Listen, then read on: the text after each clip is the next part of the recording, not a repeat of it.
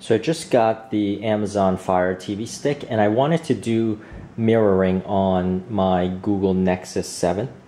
And uh, I'll come out and say it is that the Google Nexus 7 2012 version, which is the one produced by Asus, does not support uh, screen mirroring. And there's a very good reason for that is because this device uh, does not have a dual channel Wi-Fi. Uh, so it can actually go on the internet and stream the video to the television device uh, at the same time.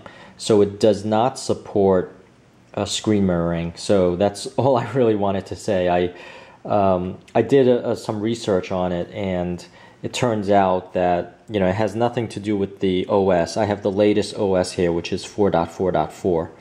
So if I go into settings, uh, you'll notice if I go to display, there's the cast screen. Now that normally is your Miracast. So Miracast is a standard of uh, doing screen mirroring from one device to the other. And once again, this device doesn't support it uh, simply because it doesn't have a dual channel Wi-Fi uh, component in it. Whereas the Nexus 7 2013 one actually does. So unfortunately, we can't mirror the uh, screen here to the television uh, like you can with Apple TV. Um, so next time when, when you get a tablet device, uh, make sure it supports Miracast, M-I-R-A-C-A-S-T,